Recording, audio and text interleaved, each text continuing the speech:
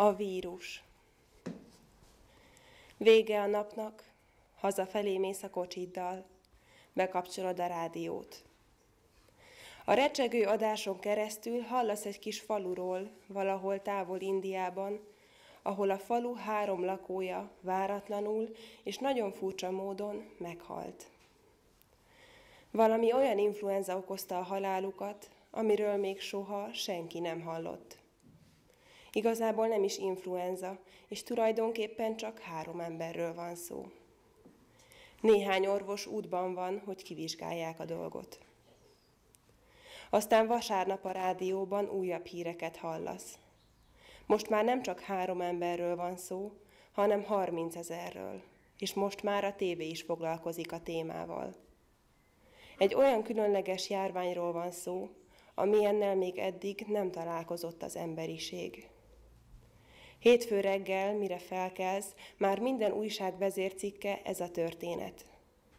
Most már nem csak India, de Pakisztán, Afganisztán és Irán is megfertőződött, és mielőtt észbe kaphatnál, már mindenhol erről beszélnek.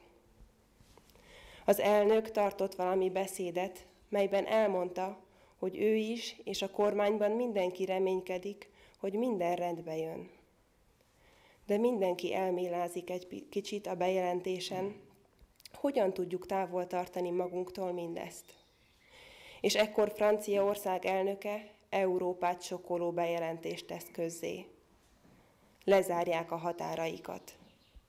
Bármely érintett országból érkező repülőjáratra érvényes az árlat, vagyis nem szállhatnak le a gépek az ország területén. A hír hallatán kiver a verejték, és lefekvés előtt kicsit tovább nézed a CNN nemzetközi műsorát. Akkor egy tudósító bejelenti, hogy egy férfi Párizs egyik kórházában haldoklik a rejtélyes influenzától. Tehát megérkezett a vírus Európába is. Mindössze annyit tudnak róla, hogy amikor kiüt rajtad a betegség, tulajdonképpen már egy hete lappangod benned. Aztán négy napig hihetetlenül rossz állapotba kerülsz, különféle tünetekkel, majd meghalsz. Anglia lezárja határait, de túl későn. Kedden reggel az Egyesült Államok elnöke a következő bejelentést teszi. A nemzet biztonságának érdekében minden repülőjárat Európába és Európából, valamint Ázsiába és Ázsiából törölve. Négy napon belül az egész ország kimondhatatlan félelembe merül. Az emberek arról beszélnek, hogy mi lesz, ha a mi országunkat is eléri.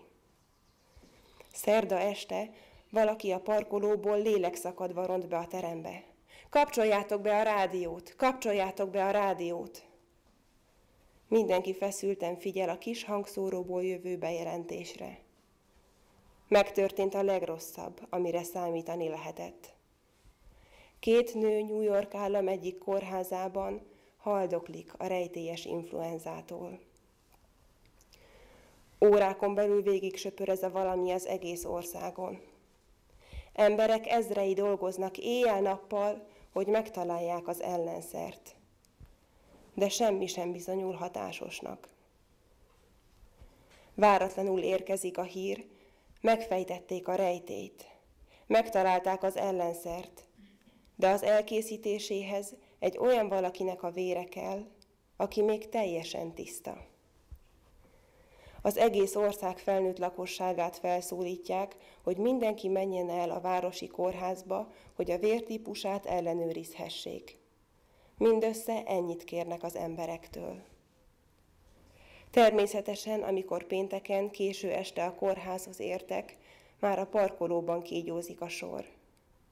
Nővérek és orvosok rohangálnak, szúrják meg sorra a várakozókat, és címkézik a kémcsöveket. Aztán odaérnek hozzád és családodhoz, és tőletek is vért vesznek. Fiad, aki még kiskorú, ragaszkodik hozzá, hogy ő is vért adhasson. Arra kérnek, maradjatok a parkolóban, és csak ha halljátok a neveteket, hogy hazamehettek, akkor induljatok el. Hirtelen egy fiatal férfi rohan ki a kórházból ordítva, és egy nevet kiabál, és egy korlapot lebegtet. A fiad megrángatja a kabátod ujját. Apu, az én nevemet kiabálja. És mielőtt bármit tehetnél, megragadják a fiadat. Egy pillanat, álljon meg! Kiáltasz rá, mire azt válaszolják. Semmi baj, minden rendben van. A vére teljesen tiszta. Szeretnénk megbizonyosodni róla, hogy nem fertőzött. Úgy tűnik ugyanis, hogy megfelelő a vértípusa. Öt feszült perc múlva sírva és egymást ölelgetve jönnek ki az orvosok és a nővérek. Néhányan még nevetnek is. Az elmúlt egy hét alatt ez az első alkalom, hogy valakit nevetni látsz. Egy idősebb orvos ekkor odalép hozzátok, és azt mondja, Köszönjük, Uram, a fia vére tökéletes, tiszta és hibátlan. Most már elő tudjuk állítani az ellenszert. Ahogy a hír elkezd terjedni, a parkolóban álló tömeg egyre hangosabban örvendezik, imádkozik, sír és nevet.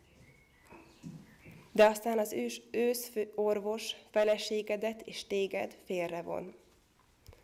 Beszélhetnék önökkel egy percre. Nem vettük észre, hogy a donor kiskorú, ezért szükséges, hogy aláírják a beleegyező nyilatkozatot.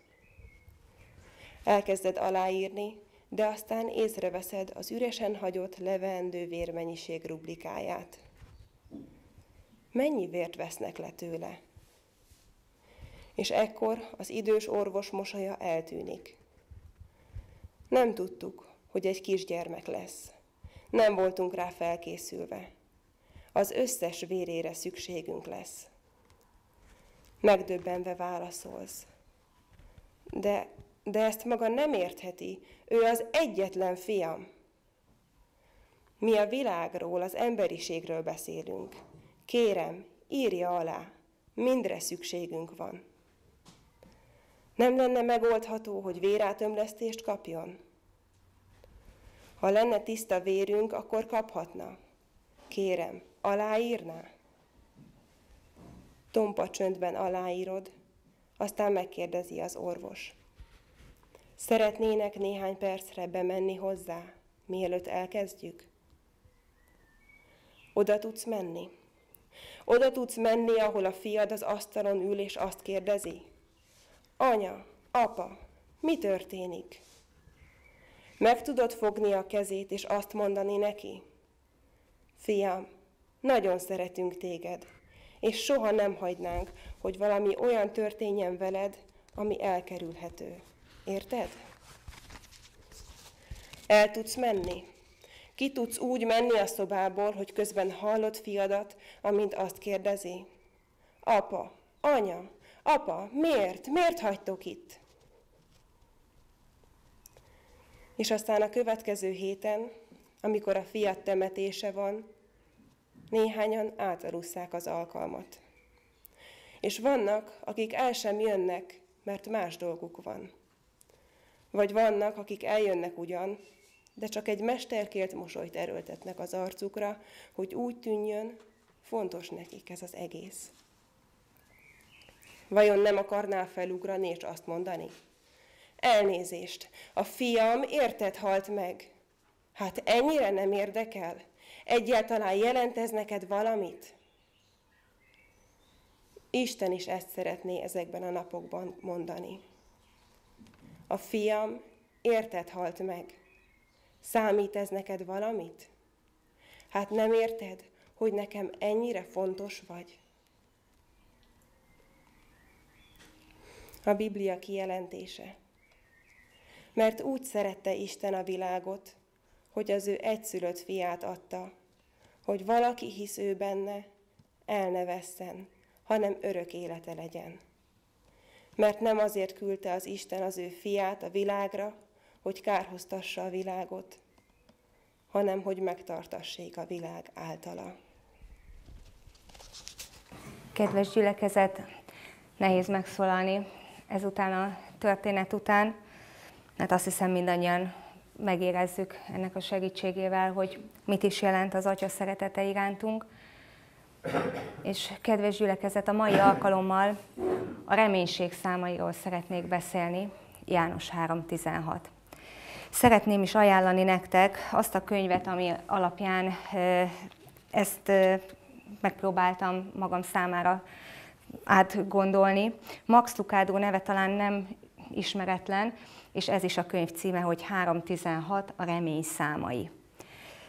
Valóban, mint ahogy az elhangzott történetben is, egyetlen reménységünk van, és az a Krisztus vére. De hogy ez milyen mértékben és hogyan is lehet a mi reménységünk, erről szeretnék a mai alkalommal szólni nektek, és szó szerint és szavanként végig elemezni egy picit veletek együtt, az időnk amennyire engedi. Már most elnézést kérek, ha egy picit túl fog csúszni a, a délen. Valószínűleg, hogy nem férek bele, de majd igyekszem nagyon beleférni. Először is, mikor hangzott el ez a bizonyos mondat? Nikodémusnak mondta el az Úr Jézus, Nikodémusnak, aki a 71 fős főtanácsnak volt a tagja, aki törvénytudó volt, és aki az egész életét arra szánta, hogy a törvényt megismerje, hogy a törvény által éljen, üdvözüljön. Egy befolyásos ember volt, akinek a szavára hallgattak, tehát nem akármilyen farizeus volt, a farizeusok közül is a legkiválóbbak egyike, mondhatni a vallási elitnek az egyik legnagyobb méltóságú tagja volt. És ez a bizonyos Nikodémus elmegy az Úr Jézushoz, a galileai tanítóhoz, akinek nincsenek diplomái, és mégis ennek ellenére tömegeket tud vonzani magához. Mi volt az ő titka? Kíváncsi volt az ő tanításaira, és kíváncsi volt az ő titkára, amitől ő ilyen népszerű annak ellenére, hogy nem rendelkezik ilyen ismeretekkel az ő ismeretei szerint. Elmegy Jézushoz, értésére adja, hogy tudja, hogy kicsoda, mint hogyha egy kicsit vizsgáztatná, tudom ki vagy, tudom honnan jöttél, most kicsit kíváncsi vagyok rád, hogy mesélje magadról. De az Úr Jézus nem kezdi el ugyanezt fordítva, hogy én is tudom, hogy te ki vagy, tudom, hogy milyen nagy tiszteletben álló ember vagy, hanem egyetlen dolgot mond. Azt mondja neki, ha valaki nem születik újonnan víztől és lélektől, nem láthatja meg az Isten országát. Azt gondolom nem erre a köszöntésre várt Nikodémus, és talán nem is tudott mit kezdeni ezzel a mondattal, hogy mi az, hogyha valaki nem születik újonnan víztől és lélektől nem láthatja az Isten országát. Ő úgy gondolta, hogy ő rendben van, az előbbi történethez kapcsolódóan ő úgy gondolta, hogy ő még egészséges, sőt, nagyon is egészséges. Miért van neki erre szüksége? Mit is fejez ez ki?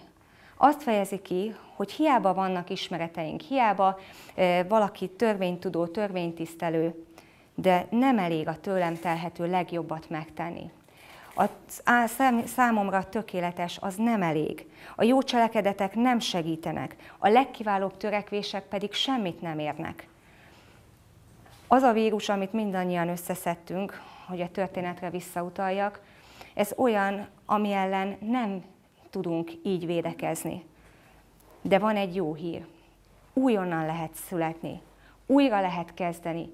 Ez azt fejezi ki ez a mondat, hogy nem csak, hogy nem elég mindaz, amit mi megpróbálunk emberileg, de van egy másik megoldás, egyetlen megoldás, de egy tökéletes megoldás van, hogy újra kezdhetünk mindent, és van egy új esélyünk hogyha valakinek csődbe jutott az élete, tönkrement az élete, úgy érzi, hogy minden hiába való volt, amit eddig tett az életben, hogy minden tönkrement körülötte, amiben eddig hit, bízott és remélt, és minden összeomlik körülötte, van egy új lehetősége, van új esélye.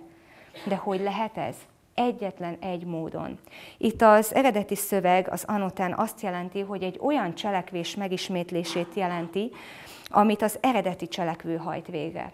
Vagyis az újjászülést, inkább így fogalmaznám, maga Isten teszi meg. Ezt mi nem tudjuk magunkból kicsiholni. Felülről Istentől érkező dolog. Nem erősebb akaratra van szükség, nem nagyobb önfegyelemre, nem több ismeretre, hanem isteni csodára van hozzá szükség. És ez az isteni csoda Krisztusban adatott meg nekünk.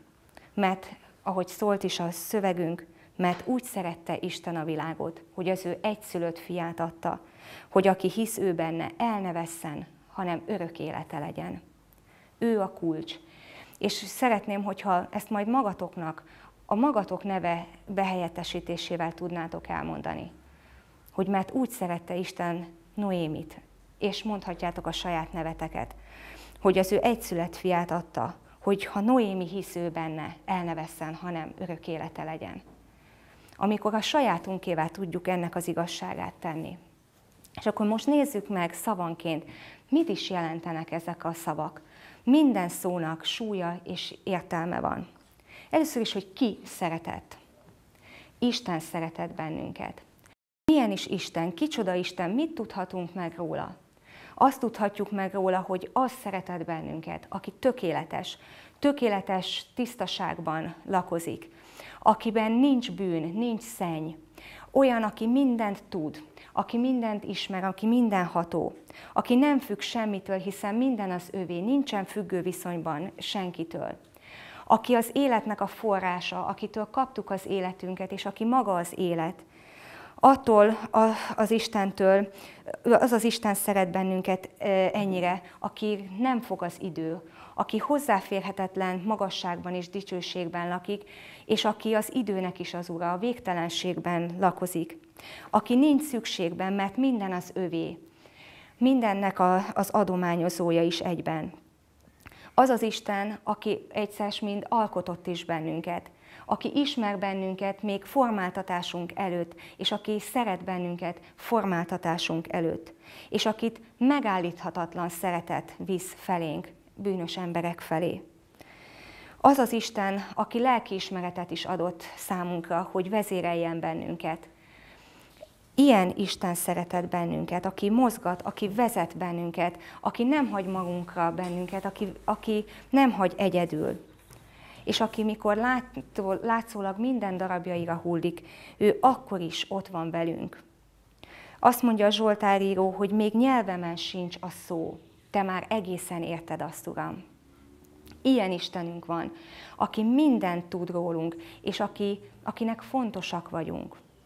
Ez az Isten mit csinált? Szerette a világot. Van egy, ha már itt vírusról volt szó, van egy olyan betegség, egy FOP nevű betegség, amelyet így fogalmaznak meg, hogy börtönbe zárja a testet. Először elkezdi a nyaktól, a gerincen át, a belső szervekig, mindent tulajdonképpen egészen az új percekig megmerevít és megkeményít. De van ennél egy még súlyosabb betegség, ami szintén a lelki nyakasságunktól, a lelki gerenctelenségünkön át az egész testünket megmételjezheti, és ugyanígy megkeményítheti és ez az önzésünk és az akaratunknak a megkeményedése, ami sokkal veszélyesebb, mint egy testi betegség. Gondoljatok arra, amikor Mózes az Izrael népét próbálta volna nagy türelemmel és szeretettel végigvezetni a pusztán, és az ígéret földje felé vezetni. Más se csináltak, csak lázadtak, zúgolódtak, és mindig azzal kellett szembesülnie, hogy semmi se volt jó még mindig inkább Egyiptomba és Egyiptom, Egyiptom húsos fazekaihoz kívánkoztak vissza a szolgaság földjére, és azt mondták, hogy Isten nem szeret minket, Isten elhagyott bennünket, és megkeményítették az ő szívüket. Konokok és kemény szívű és bálványimádó nép lettek. De azt hiszem, hogy ez sajnos elmondható a mai világban is. Nem kell ilyen messzire elmennünk.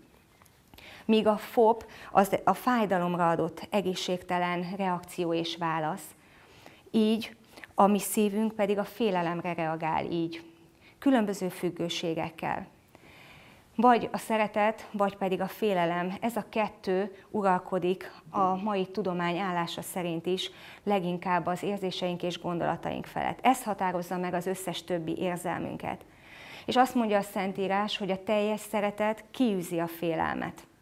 Kiűziheti, de csak akkor, hogyha van, aki kiűzze ezt belőle. A mérgező gondolatok viszont függőségekbe visznek bennünket, és a félelemnek a mindenféle változataiba, a csüggedéstől az aggodalmaskodáson át, a nyugtalankodásig, békétlenkedésig és minden egyébig. Félelem terápiáink vannak ma már, sajnos. Kinek az evési kényszer, kinek az ivási kényszer, kinek vásárlási kényszer, játékszenvedély, ilyen-olyan függőségek ahelyett, hogy az egyetlen lehetőséget megtalálnánk, aki viszont tényleg tud segíteni a mi bajunkon. Félelmeinkkel nézünk szembe Isten helyett, pedig először vele kéne szembenéznünk, és utána ő majd segítene a félelmekkel is szembenézni.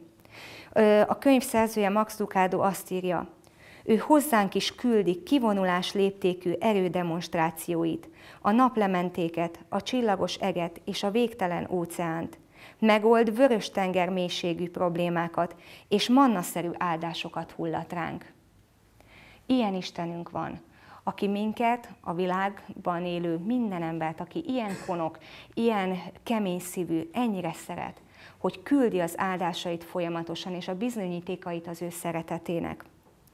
És mi mégis, ahelyett, hogy hozzáfordulnánk, mindenféle egyéb pótszerhez és fordulunk, és inkább megkeményítjük a szívünket. Milyen is ez a kemény szív?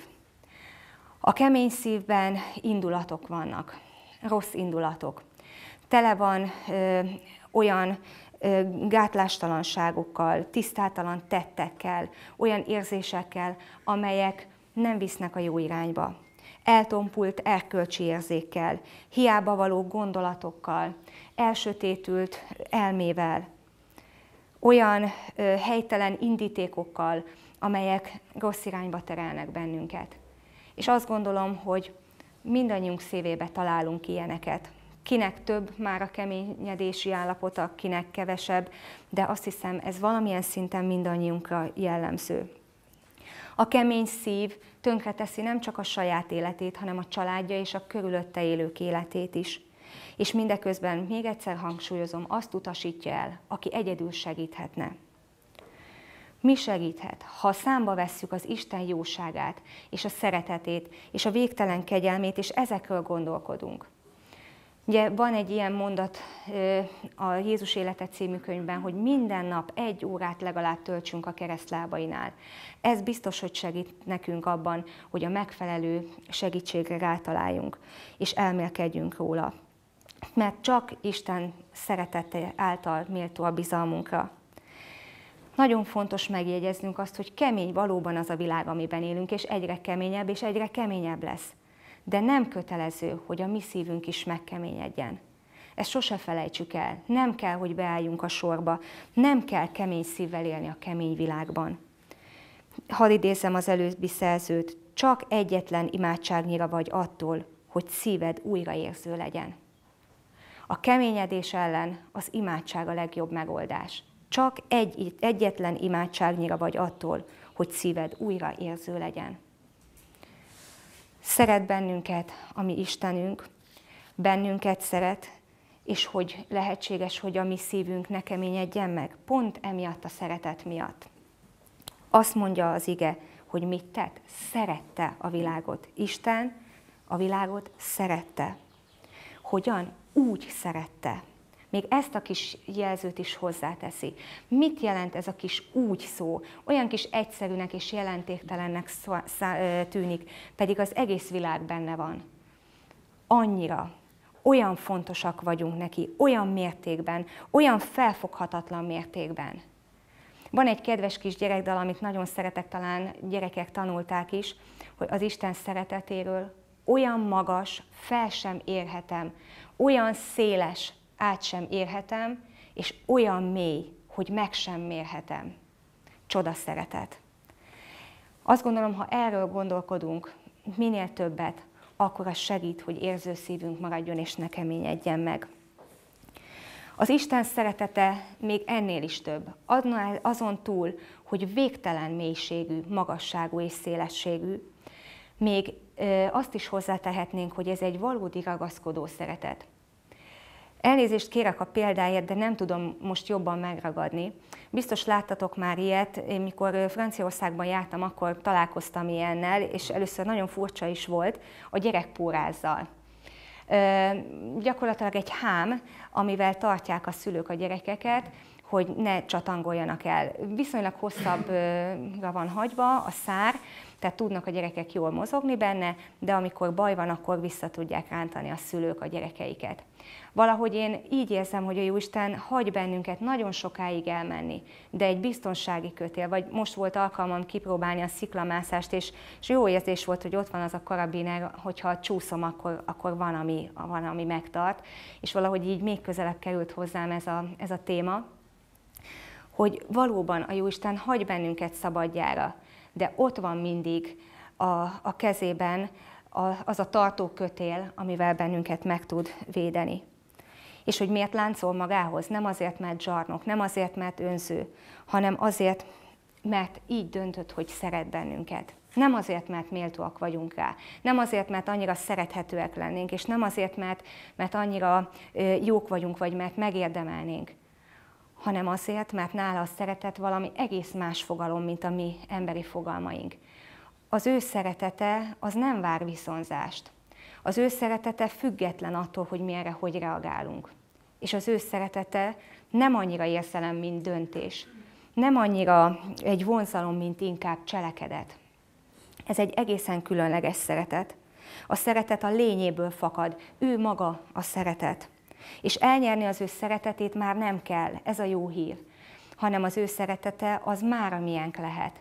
Olyan sokan szenvednek szeretetéségben, olyan sokan vágynak arra, hogy valaki szeresse őket. És milyen jó elmondani a remény üzenetét, hogy van valaki, aki szeret téged, aki ismer, aki megalkotott, aki mindennél jobban ö, ismer, és aki tudja, hogy milyen állapotban vagy, és hogy keményedik a szíved, és kemény világban élsz, de annak ellenére szeret, hogy te viszont szeretnéd-e őt. Nem azért szeret, hogy kapjon valamit tőlünk, hanem hogy adhasson nekünk, mindenestől adhassa magát nekünk.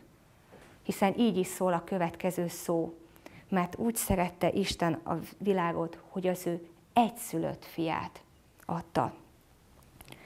Az önfeláldozó szeretet, az agapé szeretet, amit itt mi emberi fogalmakkal nagyon nehezen tudunk felfogni, és csak tőle tudjuk megtanulni. Olyan, aki képes volt kimondani a kereszten, hogy bocsáss meg nékik, mert nem tudják, mit cselekszenek. Egyszülött fia. Így fordíthatnánk le a monoszt, hogy egyetlen, a genoszt, hogy leszármazott. Vagyis ha leszármazott, akkor valahonnan örököl. Ezt a kifejezést János öt alkalommal használja, és csak a Jézus és Isten közötti páratlan kapcsolat bemutatására. Mert ezt nem tudjuk emberileg megmagyarázni. De így tudnám megfogalmazni, hogy Jézus, Isten monogenetikus fia. Mit is ö, akarok ez alatt érteni? Hogy csak Jézus rendelkezik Isten génállományával. Benne Isten DNS-e van. Bennünk emberi DNS van, benne ott van Isten DNS-e. A menny ajtajának a kulcsa nála van. Ő ismeri kívülről, belülről a mennyet. Tudja, hogy mi van ott, tudja, hogy mi található ott. Különleges és egyedülálló az ismerete a mennyről. De ezt nem akarja magának megtartani, hanem meg akarja osztani velünk. Kikkel is akarja megosztani? Mindannyiunkkal. Minden összetört szívűvel, mindenkivel, aki úgy érzi, hogy kisiklott az élete, mert ő ismeri az atyát. Azt mondja az ige Máté evangéliumában, az atyát sem ismeri senki, csak a fiú, mert ő az, aki Istennek a monogenetikus fia, akiben Isten DNS-e van.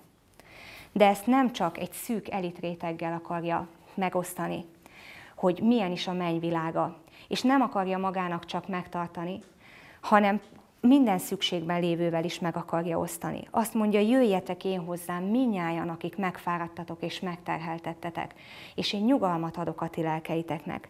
Mindazoknak ajánlja ezt, akiknek az élete összetört, vagy aki egyszerűen csak rendbe akarja hozni az életét. Hogyan akarja ezt megtenni? Mit is tett ö, Isten az ő fiával? Adta. Ezt a fiút aki vele hozzáférhetetlen dicsőségben lakozott, leküldte az emberi földre, emberé tette őt, emberé lett Isten fia, és megalázta magát a halálig, mégpedig a keresztfának haláláig.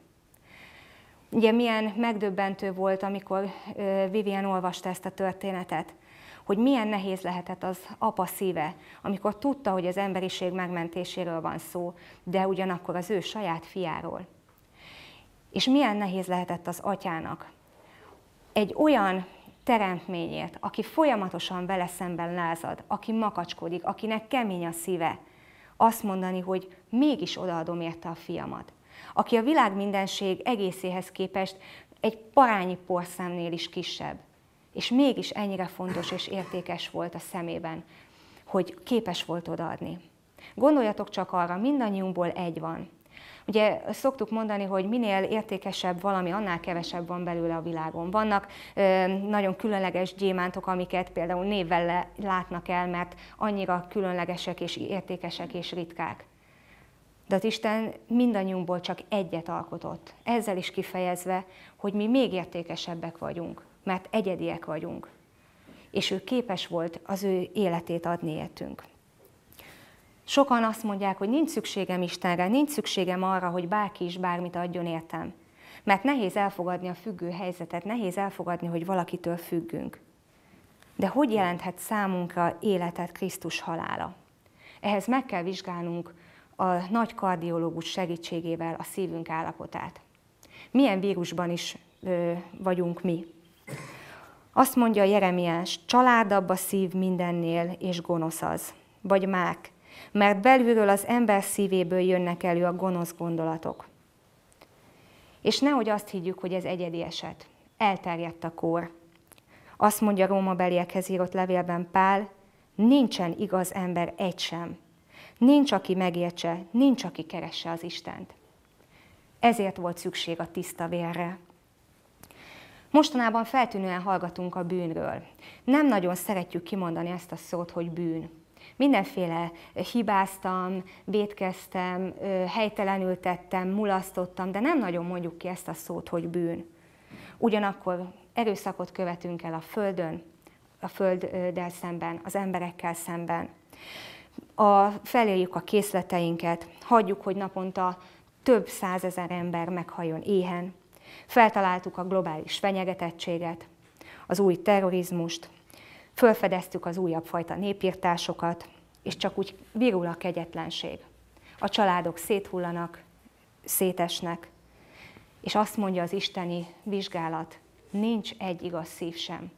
Az isteni mérce szerint tolvajok vagyunk, gyilkosok vagyunk, hazugok vagyunk, hogyha csak a, a tíz parancsolatot nézzük is. De egy jó orvos nem áll meg ott, hogy diagnózist állít fel.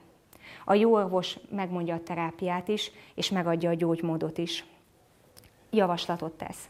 Azt mondja, hogy csak a tiszta szívűek örökölhetik Isten országát. De mivel minden szív beteg és erőtelen, szükség van egy teljes szívcserére, egy teljes szívátültetésre. A hyper kifejezés azt jelenti érte, helyette meghalt bűneinkért, önmagát adta bűneinkért, átokká lett értünk, életét adja barátaiért, az új szövetség az én bérem által, amely ti érettetek, ontatik ki. Csak néhány azok közül az igék közül, amik arra mutatnak rá, hogy igenis megvan a megoldás, megvan a, a, a gyógymód. Krisztus szívet akar velünk cserélni, és szívet cserélt velünk. Ő, aki soha nem követett el bűnt, átokká letértünk, bűnné letértünk, beteg szívet vett magára, hogy nekünk egészséges szívünk lehessen. Valaki egyszer megkérdezte, hogy voltak-e Krisztusnak bűnei. És erre egy lelkész azt mondta, igen, voltak.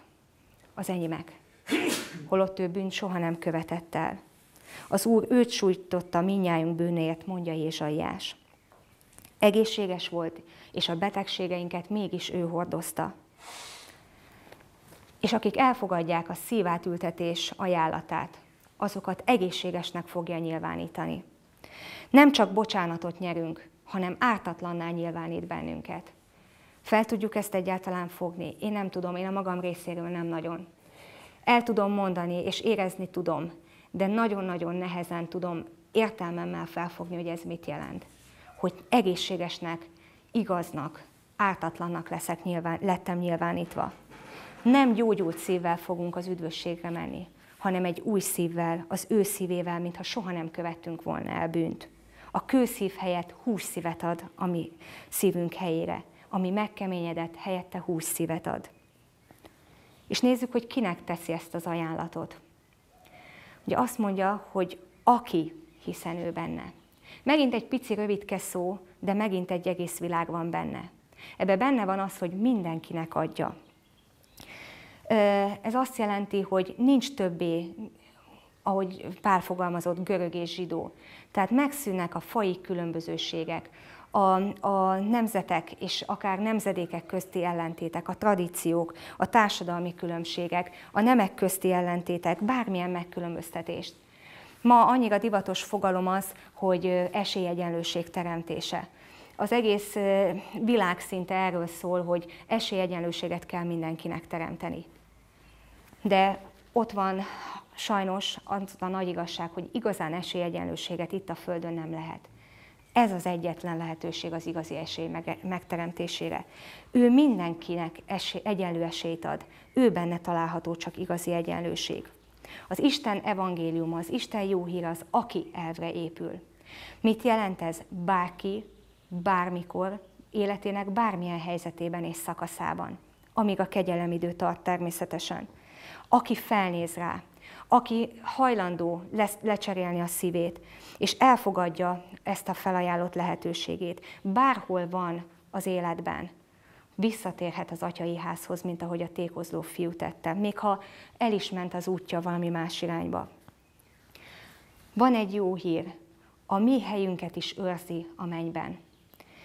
Számos dolgot el lehet veszíteni az életben. El lehet veszíteni szeretteinket, el lehet veszíteni otthonunkat, családunkat, elveszíthetjük a munkahelyünket, elveszíthetünk egyszerűbb dolgokat is, de egyet nem veszíthetünk el.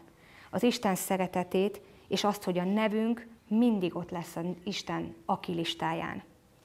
Mindig ott lesz a lehetőségünk arra, hogy az örök életbe juthassunk, ha mi is élni kívánunk ezzel a lehetőséggel.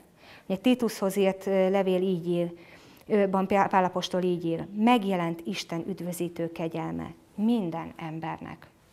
De ez tanít is valamire bennünket. És ez már a következő kifejezés. Aki hisz. A hit is egy kicsit nehezen megfogható, de megélhető dolog. Bizalmat és engedelmességet egyszerre feltételez.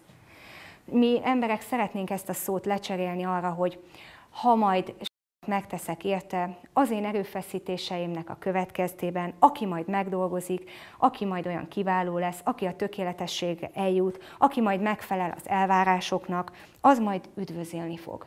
És nem akarjuk elhinni, hogy nem kell több a hitnél, ami engedelmesség és bizalom. Gondoljatok a magzatra. Ő nem tehet arról, hogy ott fejlődik egy édesanyja méhében. Passzívan várja a születést. Egy kisgyerek rá van utalva a szüleire, és elfogadja a törődésüket és szeretetüket, amire rá van utalva. Az üdvösség ilyen egyszerű, mint egy kisgyermek elfogadni az Isten szeretetét és a felkínált lehetőséget. Isten munkálkodik, mi nekünk az a dolgunk, hogy bízzunk. Nem kell összetettebb gyógymódra és körülményesebb megoldásra várni, kezelésre. Nem arra kell várni, hogy majd mi rendbe hozzuk a dolgainkat, majd mi jóvá tesszük a hibáinkat, majd mi kiavítjuk azt, amit elrontottunk. Nem kemény munkával kell kiérdemelni az üdvösséget. Krisztus azt mondja, hogy ő megteszi azt, amire mi nem vagyunk képesek. Gondoljunk arra, hogy amikor nehéz hinni, rendszeresen láthatatlan jelenségekbe vetjük a bizalmunkat. Ma is pont reggel beszélgettünk arról, hogy senki nem látott még közülünk, legalábbis azt hiszem nincsen ilyen szakember köztünk, elektronokat vagy protonokat. Mégis tudjuk, hogy működnek. Tudjuk, ha felkapcsoljuk a villanyt, akkor világítani fog. Tudjuk, ha mobil készüléken beszélünk, akkor a világ másik felén hallani fognak bennünket. És számtalan olyan dolog van, amit nem látunk kézzel foghatóan, bizonyos erőket, vagy hogy a vadludakat mi tartja fent, a felhajtó erő, de mégis működnek. Bele ugyanazt kell tennünk. Az a kérése, hogy bízzunk benne, és csak benne. Nem egy másik emberben, nem lelkészben, nem közösségben, csak benne. Ő az egyetlen, aki megtarthat bennünket. Még így is szól a következő szó, hogy aki kiben hisz, ő benne. Ez kizárólagosságot jelent. Azt jelenti, hogy nincs más. Nem visz más út a mennybe, nem érhető el más módon az üdvösség, csak ő benne. Nem, még egyszer hangsúlyozom, nem akik fáradoznak, a jó cselekvőké. Természetesen ezeknek is megvan a helye, és ezekre is szükség van, de az üdvösség benne érhető el. Nem a hibátlan szenteké, nem a különleges képességűeké, mint sokan gondolják, hogy nekem ez úgyse sikerül, meg hogy a másik milyen szent, meg hogy a másik milyen különleges. Senki nem különb a másikké. Ő az alkalmatlanokért, a betegekért, a gyengékért jött, ahogy ő is ezt megfogalmazta. És hogyha még nehezen is megy, és még tele vagyunk kudarcokkal, és még buktatókon megyünk keresztül, azt mondja, hogy mint egy jó szülő, ő nem tagadja ki a gyereket. Egy gyerek, hogyha eltéved rossz útra, attól még a szülő nem tagadja ki. Ugyanúgy szereti, és ugyanúgy próbálja megmenteni, vagy még inkább, mint azt, aki, aki otthon van vele. Ha elbotlik, akkor nem zavarja el a háztól. Ugyanígy, ha mi is elbotlunk, már pedig elbotlunk sajnos, nem fog megtagadni bennünket. Büntetést, feddést ad a szülő is, mint ahogy a Jóisten is próbál bennünket észhez téríteni, és visszaterelni magához, de nem tagad meg bennünket. És miért nem tagad ki a háztól? Azért, mert a családja részesei vagyunk. Mert Krisztusban nem csak Isten DNS-e van, hanem az emberi DNS is ott van. És általa mi az ő családjának a részesei lehetünk. És mint egy lánc folyamat, bennünk pedig majd isteni DNS lehet, az ő jelleme az örök életben. Megtérésünkkor Isten gyermekeivé válunk. Megváltoztatja a származásunkat, és egy új alapra helyezi lelki értelemben a családi hovatartozásunkat. Ezáltal tudja biztosítani az üdvösségünket. De nem áll meg itt, hogy egy új lehetőséget és egy új származást ad nekünk, hanem mellénk rendel segítséget is. Mellénk rendeli a szent lelkének a vezetését. Ez az egyik. A másik ellát lelki fegyverzettel bennünket. A harmadik mellénk rendeli angyalait, és negyedik, ő maga él bennünk. És ez csak néhány volt a felsorolásból, amit mellénk ad segítségül. Nem csak az üdvözítő vérét adja, nem csak azt adja, hogy az ő családja részeseivé tesz bennünket, és egy új származást ad nekünk, hanem még segítségeket is ad, hogy ne botoljunk el az életben. Ez egy olyan biztonság, amire csak irigy lehet bármelyik államfő. Nincs még egy ilyen biztonsági garancia, ami garantálná a biztos célba érkezést. A különböző vallások különböző utakon próbálják elérni az üdvösséget. És ő azt mondja, én vagyok az út, az igazság és az élet. Senki sem mehet az atyához, csak is általam. És mit mondott ez az ige? Miért adta nekünk ezt a nagy ajándékot? Hogy el ne vesszen. Más helyen, hogy mindenki megtérésre jusson. Azt gondolom, ezt a szeretetet nem szabad figyelmen kívül hagynia egyikünknek sem. Akik nem kérnek Istenből, azoknak is mondjuk el ezt a jó hírt, hogy ő azt akarja, hogy senki ne vesszen el, hanem az üdvösség a miénk lehessen aki nem akarja, hogy megmondják, hogy hogy éljen tovább, akik nem akarják, hanem majd rendezik az ő életüket, és akár inkább gúnyolódnak, azoknak hívjuk fel a figyelmét arra, hogy amikor bajban van, akkor mégis azt mondja, hogy ja Istenem. Azt mondja, hogy egy szerető Isten nem külden engem kárhozatba. Akkor van Isten, vagy nincs Isten? Nehéz kérdés ez azok számára, akik, akik mégis kapaszkodni akarnak maguk valamiben, de mégis magukban bíznak. Igen, van szerető Isten. Sokan nem mernek szóbálni a pokol gondolatával. Egy tudományos folyóirat kapcsán egy amerikai egyház történész száz év tudományos folyóiratát kezdte végigkutatni, hogy talál-e valamit a pokolról. És ezt mondta, a pokol eltűnt, és senki nem vette észre nem akarunk ilyesmiről beszélni, nem akarunk kárhozatról beszélni, mert mindenki üdvözülni szeretne, de a saját útján. Közénk viszont és a kárhozat közé Isten egy figyelmeztető táblát tett. El ne vesz. Mint hogyha egy, egy útirányt mutatna, hogyha innen tovább lépsz, lépsz, ott a szakadék, ott a kárhozat. Itt van az én vérem. Megállít, hogy el ne vesz. Aki hall, nem hallgat erre a figyelmeztetésre, Annak kénytelen elkülöníteni a világ mindenségben egy olyan helyet, ami a lázadóknak a színhelye, a kemény szívűek gyűjtőhelye, akik nem kértek se belőle, se azokból, azoknak a társaságából, akik Krisztuséi. Ő nem fog senkit kényszeríteni arra, hogy ne vesszen el, és nem kényszeríti ránk az akaratát, de ki kell az új világból rekesztenie mindazt, ami szeretetlen, ami hideg, ami kemény, ami gonosz. És mielőtt azt hinnénk, hogy, hogy ez igazságtalan tőle. Ő ismeri egyedül az életünk történetét.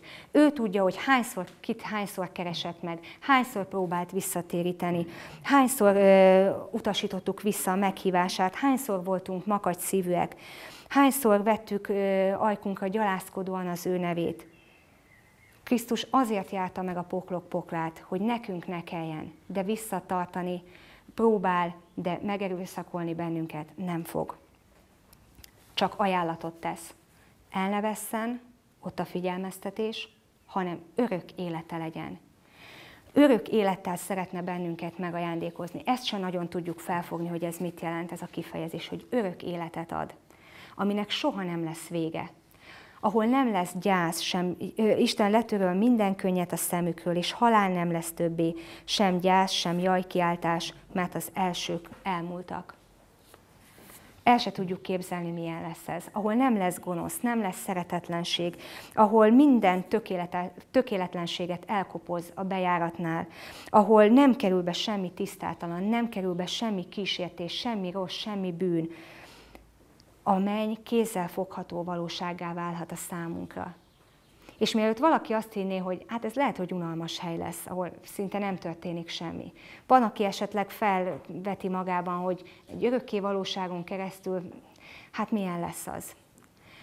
Azt hiszem, azt a szeretetet és kegyelmet felfogni, amit, amit Isten adott nekünk embereknek, ehhez kell egy egész örökké valóság. Másrészt, ha nincs bűn, nincsenek nincsen, nincsen unalom. Mert unalom csak olyan talajon nő, mint a, mint a fáradékonyság, mint a szellemi korlátok, az önközpontúság, az értelmetlen tevékenységek, amelyek eltompítanak, amelyek kiölik bennünk a jó érz, belőlünk a jó érzéseket, az életkedvet. Ha nincs bűn, nincs, ami ezeket ki, hanem helyette van szeretet, és helyette van szolgálat. A szolgálat hatékony, a szeretet pedig egy aktív cselekvés. Nincs unalom, nincs unatkozás, mert értelmes feladataink lesznek. Szolgálni örömmel, fáradoz, fáradozni fáradtság nélkül, kudarc nélkül, tiszta érzelmekkel, tiszta indítékokkal, tiszta gondolatokkal, fáradhatatlan izmokkal.